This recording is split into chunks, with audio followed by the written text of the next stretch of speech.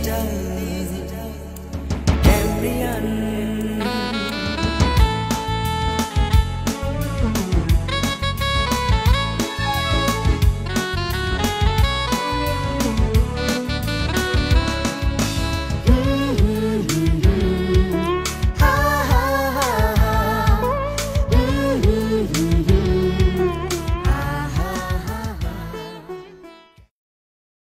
প্রিয় শিক্ষার্থীবৃন্দ Cambrian virtual ক্লাসে তোমাদেরকে সুস্বাগতম। আজকে আমার রসায়নের দ্বিতীয় ক্লাস চলো আমরা কয়েকটা ছবি দেখি। এই ছবি দেখে তোমরা কি ধারণা করছ? এই যে বিভিন্ন শক্তি স্তর, সেখানে ইলেকট্রনগুলো রয়েছে, ইলেকট্রনগুলো এখানে কীভাবে যেন একটা আবদ্ধ রয়েছে, কি ধারণা করছ বন্ধুরা? চলো দেখি তো, ধারণার সাথে আমাদের আজকের পাঠটা মিলে কিনা? হ্যাঁ বন্ধুরা, ঠিক ধরেছ। আমাদের আজকের পাঠ হচ্ছে অরবিটালের অধিক্রমণ এবং সমযোজী বন্ধনের শ্রেণীবিন্যাস। চলো, পাঠে যাওয়া যাক। এই পাঠ শেষে শিক্ষার্থীরা কি জানবে? তারা জানতে পারবে অরবিটালের অধিক্রমণ বলতে কি বোঝায়। তারা অরবিটালের অধিক্রমণ কত প্রকার এটা বলতে পারবে। সমযোজী বন্ধনের শ্রেণীবিভাগ বলতে পারবে। একক দ্বি এবং ত্রি বন্ধন কীভাবে গঠিত হয় সেটা বলতে পারবে এবং সিগমা এবং পাই বন্ধন কীভাবে গঠিত হয় সেটা বলতে পারবে। শিক্ষার্থীরা, অরবিটালের অধিক্রমণ কি?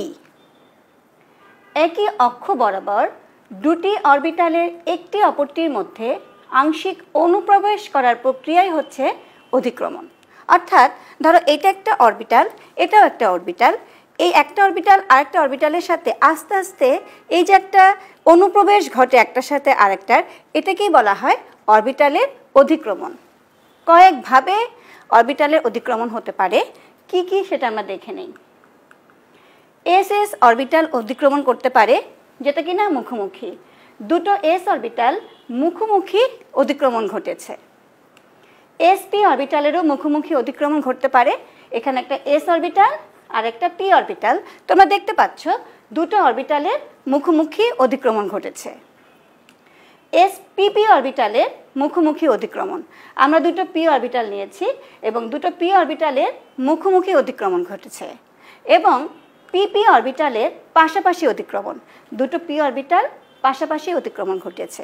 এখন দেখি, মুখোমুখি বা পাশাপাশি অধিক্রমণ বলতে আমরা কি বোঝাচ্ছি? মনে করো, এটা একটি এস অরবিটাল, এটা একটা এস অরবিটাল। তারা মুখোমুখি বা ফেস টু ফেস অথবা সামনাসামনি পরস্পরের সাথে অতিক্রমণ ঘটাবে। অথবা একটা এস আর একটা পি অরবিটাল তারাও মুখোমুখি অতিক্রমণ ঘটাতে পারে। একটা পি অরবিটাল এবং একটা পি অরবিটাল পাশাপাশি অতিক্রমণ ঘটাতে পারে। এভাবে সামনাসামনি বা ফেস টু ফেস বা হেড টু হেড যে ওভারল্যাপিংটা ঘটে, একে বলা হয় ফেস টু ফেস ওভারল্যাপিং বা মুখোমুখি অতিক্রমণ এবং যেটা পাশাপাশি ঘটে সেটাকে বলা হয় তোমার পাশাপাশি অতিক্রমণ সমযোজী বন্ধন। সমযোজী বন্ধন কি? বন্ধুত্ব। এক কথায়, দুটো পরমাণুর যোজ্যতা স্তরের ইলেকট্রনগুলো পরস্পরের সাথে বন্ধুত্ব করে, অর্থাৎ শেয়ার করে। সংজ্ঞাটা দেখে নেই। দুটি পরমাণুর মধ্যে ইলেকট্রন শেয়ারের ফলে সমযোজী বন্ধন গঠিত হয়। অর্থাৎ পরমাণুদ্বয়ের যোজ্যতা স্তরের ইলেকট্রনদ্বয় পরস্পরের সাথে শেয়ার করে অষ্টক পূরণ করে এবং তারা নিষ্ক্রিয় গ্যাসের ইলেকট্রন বিন্যাস অর্জন করে এবং একই সাথে একটি বন্ধন গঠন করে। আমরা সমযোজী বন্ধনের শ্রেণীবিন্যাস নিয়ে এবার একটু আলোচনা করি। শ্রেণীবিন্যাসকে দুই ভাগে ভাগ করেছি। একটা হচ্ছে ইলেকট্রন শেয়ারের ভিত্তিতে। বন্ধুরা, ইলেকট্রন শেয়ারের ভিত্তিতে সমযোজী বন্ধন তিন প্রকার। একক বন্ধন দ্বিবন্ধন এবং ত্রিবন্ধন। অপরটি হচ্ছে অরবিটাল অধিক্রমণের ভিত্তিতে। এটা দুই প্রকার, সিগমা বন্ধন এবং পাই বন্ধন। এসো, আমরা এই শ্রেণীবিন্যাস নিয়ে কিছুটা আলোচনা করি। একক বন্ধন গঠন, কীভাবে গঠিত হয়? একক বন্ধন গঠনে দুটি পরমাণু পরস্পরের সাথে একটি করে ইলেকট্রন শেয়ার করে। অর্থাৎ, পরমাণুর যোজ্যতা স্তরের একটি ইলেকট্রন, অপর পরমাণুর যোজ্যতা স্তরের একটি ইলেকট্রনের সাথে কি করছে? বন্ধন গঠন করছে। শেয়ারিংয়ের মাধ্যমে, ইলেকট্রন শেয়ারের মাধ্যমে। এভাবে কয়েকটি উদাহরণ আমরা এখানে দিয়েছি। যেমন, হাইড্রোজেনের একটি ইলেকট্রন অপর একটি হাইড্রোজেন পরমাণুর আরেকটি ইলেকট্রন শেয়ার করছে।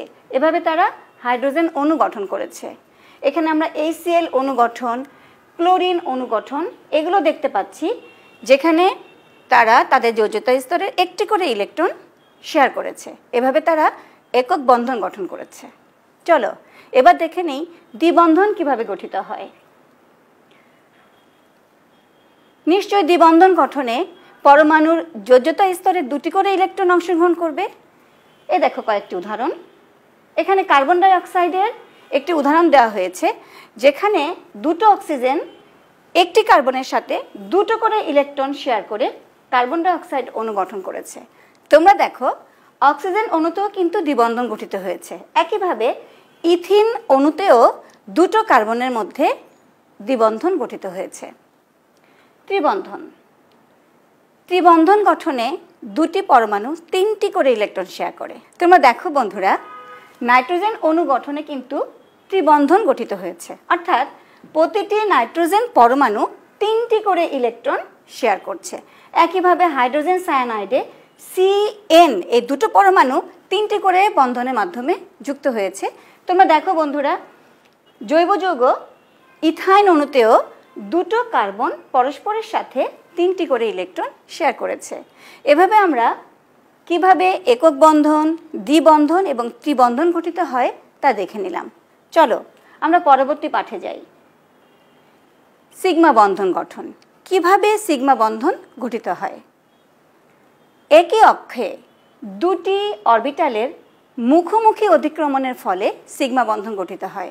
আমরা একটু আগে অধিক্রমণগুলো দেখেছিলাম যে এস অরবিটাল, দুটো এস অরবিটাল মুখোমুখি অধিক্রমণ করতে পারে। একটি এস আর একটি পি অরবিটাল মুখোমুখি অধিক্রমণ করতে পারে। দুটো পি অরবিটালও কিন্তু মুখোমুখি অতিক্রমণ করতে পারে। এভাবে যে বন্ধনগুলো তৈরি হবে, সবই হবে সিগমা বন্ধন। আমরা হাইড্রোজেন অণু ফ্লোরিন অণু, হাইড্রোজেন ক্লোরাইড অণু, প্রত্যেকটা অণুর মধ্যে সিগমা বন্ধন গঠন এখানে উদাহরণ হিসেবে কিন্তু দেখতে পাচ্ছি। পাই বন্ধন। একই অক্ষে দুটি অরবিটালের পাশাপাশি অতিক্রমণের ফলে পাই বন্ধন গঠিত হয়। এখানে দেখো, পিএক্স অরবিটাল আরেকটা পিএক্স অরবিটালের সাথে পাই বন্ধনে উল্লম্বভাবে তারা সংযুক্ত হয়েছে। অক্সিজেন অণু গঠনে পাই বন্ধনের ব্যবহার উদাহরণ হিসেবে এখানে রাখা হয়েছে। তোমরা একটু ভালো করে দেখে নাও। আজকের পড়া থেকে তোমরা কিন্তু ঘরে বসেই কয়েকটা অণুর গঠনে এই বন্ধন গঠন কিংবা সিগমা বা পাই বন্ধনের ব্যবহার নিজেরাই প্র্যাকটিস করতে পারো। যেমন, ইথেন অণুতে একক বন্ধন গঠন প্রক্রিয়া, অ্যামোনিয়া অণুতে একক বন্ধন গঠন প্রক্রিয়া হাইড্রোজেন ক্লোরাইড কিংবা হাইড্রোজেন ব্রোমাইড অণুতে কীভাবে সিগমা বন্ধন গঠিত হয়েছে, এইগুলো কিন্তু তোমরা বাসায় বসে একটু একটু করে প্র্যাকটিস করে নিতে পারো বন্ধুরা। এসো, একটা প্রশ্ন দেখি। তিনটি মৌল এল এম ও এন এর পারমাণবিক সংখ্যা যথাক্রমে এক, আট এবং পঁয়ত্রিশ। কি বন্ধুরা, ধরতে পেরেছ? মৌলগুলো কি? যদি এক হয় পারমাণবিক সংখ্যা, তাহলে কি? হাইড্রোজেন আট হলে অক্সিজেন এবং পঁয়ত্রিশ হলে অবশ্যই সেটা ব্রোমিন। তার মানে হাইড্রোজেন, অক্সিজেন এবং ব্রোমিন এই পরমাণুগুলোর মাধ্যমে তিন, দুটি প্রশ্ন এখানে উপস্থাপন করা হয়েছে। দেখি প্রশ্নগুলো কি? এন এর সাথে এল ও এম এর বিক্রিয়ায় উৎপন্ন অ্যাসিডে বন্ধন গঠন প্রক্রিয়া দেখাও। আশা করি তোমরা আমার আজকের পাঠ থেকে এর উত্তরটা নিজেরাই করতে পারবে। আরেকটি দেখো এল এম এবং এম টু অণুতে সিগমা বন্ধন গঠন প্রক্রিয়া একই ধরনের হবে কি? বিশ্লেষণ করো। আশা করি তোমরা পারবে। ছোট্ট একটা বাড়ির কাজ দিয়ে দিই। তোমরা বাড়িতে বসেই নিজে থেকেই এটার অনুশীলন করতে পারবে। দেখো প্রশ্নটা। বায়ুমণ্ডলের প্রধান দুটি উপাদান পি এবং কিউ। পি আমাদের দেহে খাদ্যদ্রব্য দহনে মুখ্য ভূমিকা পালন করে। ধরতে পেরেছ পি কি? এবং কিউ ওই দহন নিয়ন্ত্রণে সহায়তা করে। অন্য একটি মৌল আর এর সাথে পি এর সংযোগে পানি পাওয়া যায়। এখানে জ্ঞানের প্রশ্ন হিসেবে আমি দিয়েছি, সমযোজী বন্ধন কি? অনুধাবনের প্রশ্ন হিসেবে দিয়েছি, সিগমা ও পাই বন্ধনের মধ্যে কোনটি বেশি শক্তিশালী তা ব্যাখ্যা করো। গতে দেওয়া হয়েছে আর আই অণুতে কি ধরনের সমযোজী বন্ধন বিদ্যমান? ব্যাখ্যা করো। তোমাকে প্রথমে তো বের করে নিতে হবে আর কি? আই হচ্ছে একটা পরমাণু। এভাবে তুমি যোগটা চিহ্নিত করে তার মধ্যে বন্ধন খুঁজে নিতে পারবে। এবং ঘয়ের প্রশ্নে পি টু এবং কিউ টু অণুতে সিগমা ও পাই বন্ধনের সংখ্যা সমান হবে কি? বিশ্লেষণ করো। তুমি আগে এই অণু দুটো গঠন করো, যেখানে একক বন্ধন থাকবে সেটাই হচ্ছে সিগমা বন্ধন। আর যদি কোনো দ্বিবন্ধন গঠিত হয়, সেটাই হবে পাই বন্ধন। শিক্ষার্থী বন্ধুরা আমার আজকের ক্লাস থেকে নিশ্চয়ই তোমরা বেশ কিছু শিখতে পেরেছ অধিক্রমণ সম্পর্কে এবং সমযোজী বন্ধন সম্পর্কে। আশা করি ক্লাসটা তোমাদের ভালো লেগেছে। আবার হাজির হব পরবর্তী কোনো একটা ক্লাস নিয়ে।